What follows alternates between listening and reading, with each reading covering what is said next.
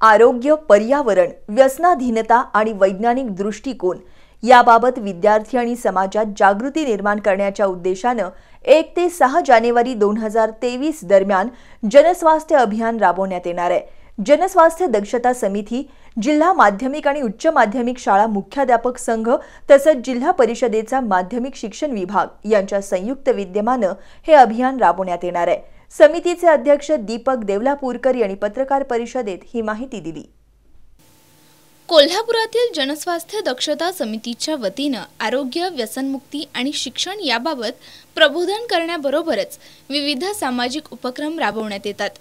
गेल्या वीस वर्षांपासून व्यसनमुक्तीबाबत सुमारे अडीच लाख विद्यार्थ्यांच्या माध्यमातून मानवी साखळीद्वारे जागृती केली जाते. याचाच एक भाग म्हणून जनस्वास्थ्य दक्षता समिती जिल्हा माध्यमिक आणि उच्च माध्यमिक शाळा मुख्याध्यापक संघ तसंच जिल्हा परिषदेचा माध्यमिक शिक्षण विभाग यांच्या संयुक्त विद्यमानं एक ते सहा जानेवारी दोन हजार तेवीस या कालावधीत जनस्वास्थ्य अभियान राबवण्यात येणार आहे.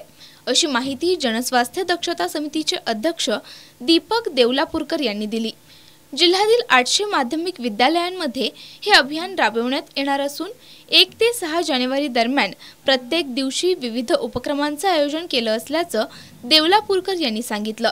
अभियानाच्या अखेरच्या दिवशी सहा जानेवारी रोजी व्यसनांच्या विरोधात विद्यार्थ्यांची मानवी साखळी करून जागृती करण्यात येणार आहे.